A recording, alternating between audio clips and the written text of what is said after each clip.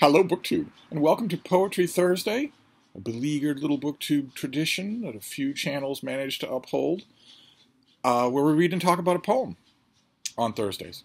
And I had planned to spend the rest of 2023 exploring a recent big fat anthology I got of contemporary 20th century poetry, a time period where I think poetry met its end and died as a, as a popular public art form and became exclusively exclusively the niche province province of the very most pretentious people anywhere in the world, and stopped being of any interest to ordinary people.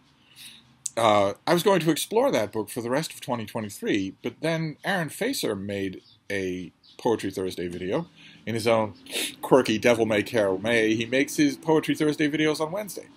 Uh, and when he got wind of my plan, he said that I was a, a soy boy cuck, or as he puts it, a soy boy cook, if I didn't read a poem by John Donne today.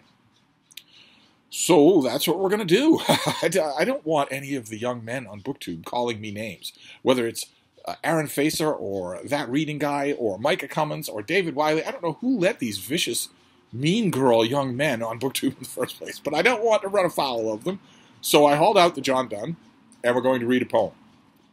Uh, we're going to read Elegy Number Seven, uh, and it goes like this: Nature's lay, idiot, I taught thee to love, and in that sophistry, oh, thou didst prove too subtle. Fool, thou didst not understand the mystic language of eye nor hand, nor couldst thou judge the difference of the air of sighs and say, This lies, this sounds despair.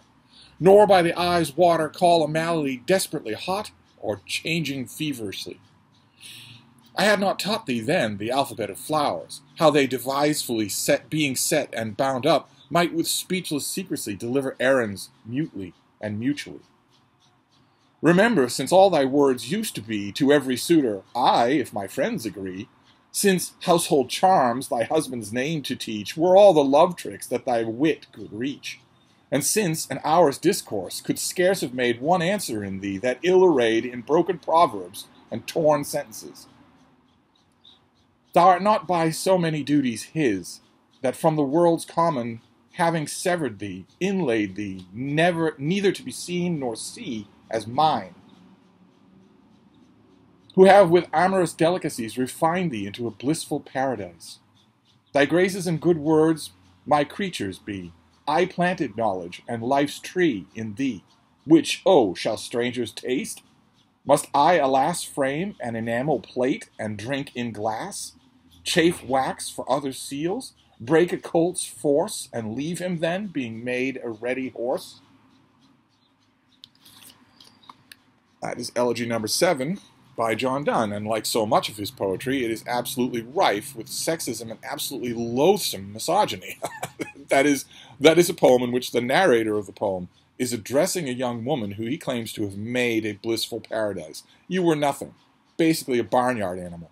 Before I taught you how to talk, how to look, how to arrange the, the language of flowers there is the, what used to be a gigantic lexicon of significances of different flowers in different times, in different blooms, in different arrangements. I, the narrator, saying, I taught you how to do all those things. I made you into something approaching a human being, when before you were fit only for little intimacy intimacy games with your girlfriends around a kitchen table. I made you into more than that, and that gives me possession of you sexually, even when you are now contracted to someone else. That's the last part of the poem. Is that the narrator is saying, well, you may be his now, but that doesn't mean that I get that I have to stop having sex with you. no, no, no, no, no. I made you. So you're, in a sense, my property, no matter who you're affianced to, no matter who you're contracted to in the view of the world. What, after all, are you expecting? That I would break a colt and then not ride it? that I would that I would chape away at someone else's sealing wax after I've gone to the bother of sealing this item myself?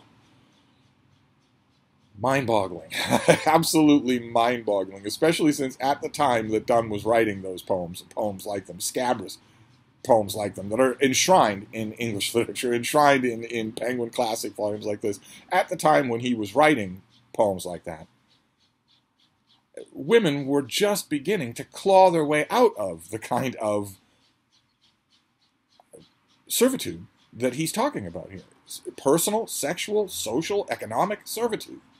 Women were at this time starting to think about maybe writing on their own, under their own name, maybe earning money doing it, who knows?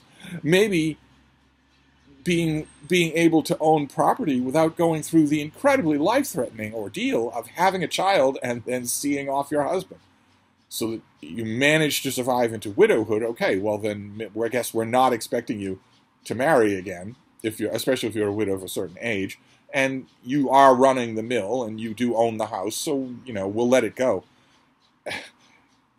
No, in John Donne's world, at least that John Donne, the young John Donne, no, not at all. They are play, clay playthings for men to shape for their own uses, and after which, imprint. Much like with sealing wax on something, so that it's never not yours, even if it's contracted to marry someone else loathsome, absolutely loathsome. The verse itself, sure, first rate. At the time when this poem was most likely written, first rate verse of that kind, of that quality or better, was not exactly uncommon. So a little a little John Donne corrective to the high tones of the tones of high reverence that Aaron Facer used in his own Poetry Thursday video, uh, which is that this guy could be as much of a crap heel as everyone else in his time period. so that's your that's your poetry Thursday, a little John Donne. We will move on, unless I'm commanded by one of these this savage teen brigade. Unless I'm commanded to do otherwise, we will move on to contemporary 20th century poetry next time, next Thursday. So I will wrap this up for now, and I will see you then. I hope. Thank you.